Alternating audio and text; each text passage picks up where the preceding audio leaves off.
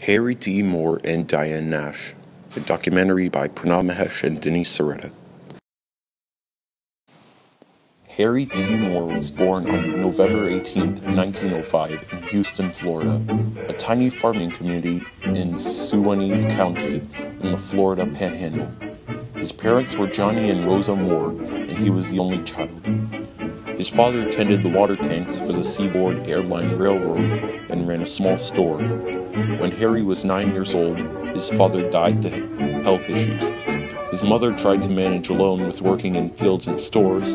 However, in the next year, she sent him to Jacksonville, Florida to live with his three aunts, Jessie, Adriana, and Macy Tyson. Jacksonville had a large African American community with a proud tradition of independence and intellectual achievement. Moore's aunts were well educated and treated Harry as their own son. Under their guidance, Moore's natural inquisitiveness and love of learning were reinforced. After living in Jacksonville for three years, Moore returned to his home in Suwannee County in 1919. He enrolled in the high school program of Florida Memorial College, getting straight A's in most of his classes. Most of his classmates named him Doc. In 1925, he graduated from college and began a teaching job in Cocoa, Florida. There he met Harriet Vida Sims, who he soon married. In March 1928, their eldest daughter, Annie, was born. On September 30th, 1930, their baby daughter, Juanita, was born. In 1934, Harry Moore started the Brevard County NAACP. In 1937, with the help of the Florida State Teachers Association and backed by the NAACP attorney Thurgood Marshall in New York, Moore filed the first lawsuit in the Deep South to equalize black and white teacher salaries.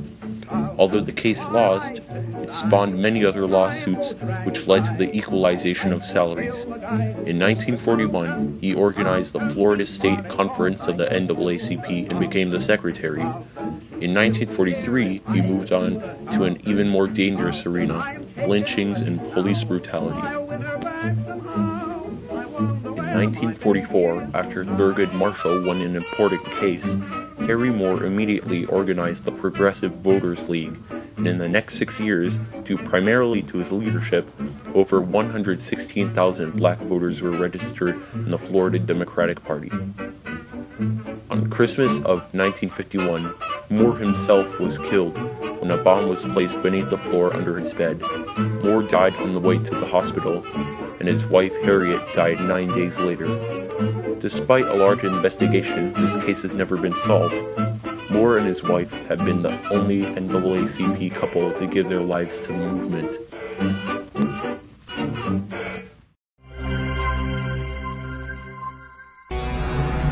It is Black History Month, and today in Brevard County, a bit of history behind one of the great civil rights leaders was on display. A book containing the first voter registration of Harry and Harriet Moore was found in a warehouse. WESH 2's Dan Billow looked into where that history is now headed. This record book is an important reminder of the sacrifice of two brave Americans. On the yellowing pages of a book that goes back to 1884, the signatures of Harry T. Moore and Harriet V. Moore stand out clearly. It's a, a historic event, um, very significant. It really kind of was divine intervention of opening the book and found that page and found them there. The Moores first registered to vote in this book, part of a set of old records that also show whether people paid a poll tax, what their race was, and what their jobs were. Harry Moore in the 1930s, 40s, and 50s risked his life registering more than 100,000 African American voters. If Moore's life as a civil rights activist began with the signing of that book, it ended right here when the Ku Klux Klan set off a bomb under his home 17 years later. In a way, the signature in that book led to what happened here. One man was heard to say in the explosion's aftermath, that's one black man who will keep his mouth shut from now on. But Moore's words still ring out from the very walls of the Mims Museum where the old book will now be displayed, reminding us how he helped bring change. Diane Judith Nash was born on May 15, 1938, in Chicago, Illinois. She grew up in a middle class Catholic family. Her father, Leon Nash, held a clerical job in the military during World War II, and her mother, Dorothy Boughton Nash, worked as a key puncher operator. After divorcing Leon, Dorothy married John Baker, a waiter on the railroad dining cars owned by the Pullman Company. Nash, who attended public and Catholic schools, considered becoming a nun while growing up. She also won several beauty contests as a teenager. In 1956, Nash graduated from Hyde Park High School in Chicago. After first enrolling at Washington, D.C.'s Howard University, Nash transferred to Nashville's Fisk University in 1959 and was taken back by the extreme racial segregation she saw in Tennessee. In 1960, she was designated as a Student Sit in Movement's chairperson in Nashville, Tennessee. On February 6, 1961, she participated in a sit in at a lunch counter in Rock Hill, South Carolina, with Ruby Doris Smith, Charles Sherrod, and Charles Jones. They were arrested with the men sentenced to hard labor. After being arrested, the group engaged in jail no bail tactics, arguing that paying bail would validate their arrest and indicate acceptance of an immoral and corrupt system. Their convictions were overturned in 2015, 54 years later. In 1961, Nash coordinated the Nashville Student Movement ride from Birmingham, Alabama to Jackson, Mississippi after learning of the bus burning to the Alabama city of Anniston and the riot in Birmingham. Nash married fellow activist James Bevel in 1961. The couple had two children, Sherry and Douglas. Nash and her husband received the SCLC Rosa Parks Award from Dr. Martin Luther King Jr. in 1965 for their contributions to civil rights. The couple divorced in 1968. Nash was named a recipient of the Distinguished American Award from the John F. Kennedy Library and Foundation in 2003 the LBJ Award of Leadership in Civil Rights from the Lyndon Baines John Library and Museum in 2004. Nash lives and works in her hometown of Chicago. She continues to peacefully advocate for fair housing, women's rights, and social justice.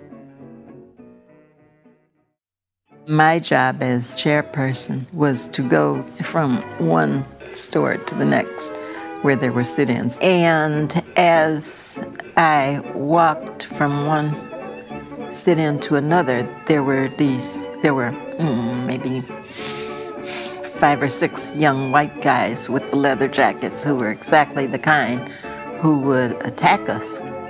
One of them said to his friend, That's Diane Nash. She's the one to get.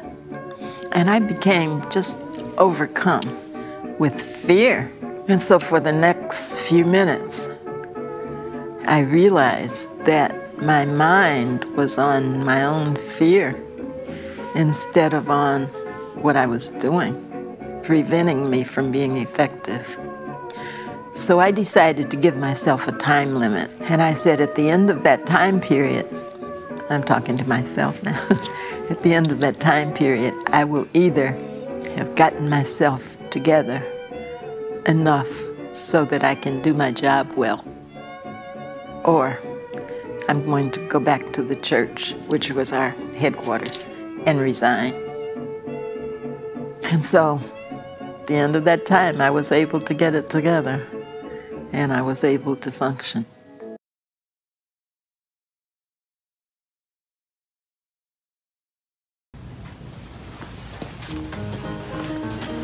Oh, I'm so sorry.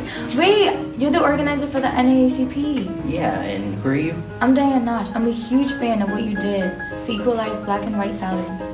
Thanks. Here, you want to take a seat and discuss? Yeah, I have a few questions. Sure. Mr. Moore, I just wanted to know how did you get so inspired to do such a great thing? Well, I had a big, well-educated African American community, and I had smart aunts who inspired me to do well in school. You're pretty young, so make sure you become well educated too. Thank you. I plan to attend Howard University in like four years from now, but I'm really interested in the Student Nonviolent coordinating committee. That's great. I attended Florida Memorial College. Although my lawsuit lost, it spawned many other lawsuits that eventually led to the equalization of black and white teacher salaries. I'm currently also investigating lynches. Make sure you make a difference for the better of your community, no matter what the cost. I must be on my way now, but thank you for talking to me. Thank you for taking your time talking. Bye, mister. Bye.